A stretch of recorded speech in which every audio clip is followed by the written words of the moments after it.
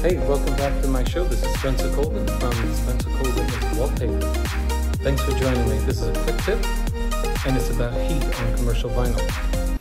You know that in order to get commercial vinyl to lay down, we need heat, okay? And working out air pockets, we need heat.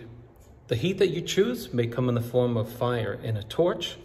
You may choose the yellow can. You may choose the Coleman um, camping torch. Whichever one, you know that fire is a good resource to get the stuff to lay down quickly. And you know you have to be careful with it. But some of us choose to use the heat gun.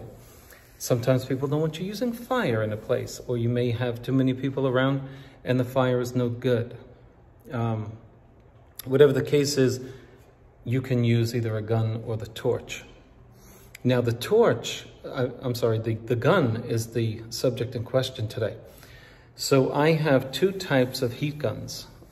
One is from one company, the other from another company. I'm going to highly recommend that you stay away from this thing because I think it's dangerous and it could cause you an injury. Check this out.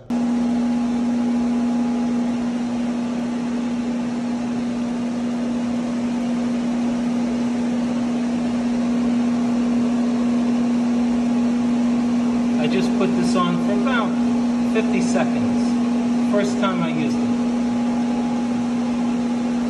I am not using this again.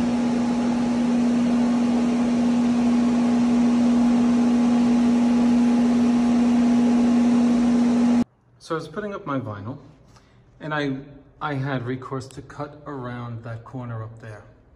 Just right now, just happened right now. And I went and I used this monster. Now, as you look at it, you can see that it's brand new. And why is it brand new? Well, it's my second replacement on this Chicago electric power tool. Now, one day I needed my heat gun. I didn't have it on my truck because it was at another job. And so I ran to Harbor Freight and picked up this, this heat gun. I've replaced the heat gun I don't know how many times. This is at least the second replacement on it. I, I do not rely on this gun. I want to show you what happened. So because I just replaced it this morning and needed the heat, I said, let me see how the thing works. I left my go-to heat gun in my truck and take a look at what happened at this thing. After the first use of about 50 seconds, the thing started smoking. If I didn't turn it off, I think it would have turned on fire.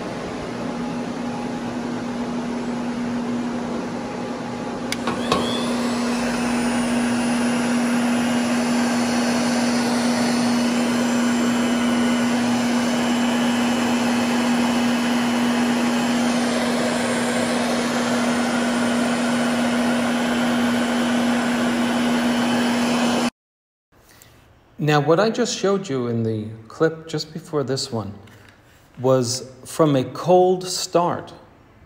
The thing wasn't hot. I just, you saw it happen live. Uh, prior to that, I wasn't videoing. I had it up in my hand and started using it. About 50 seconds, shut it off. Things started smoking from the front and from the mechanical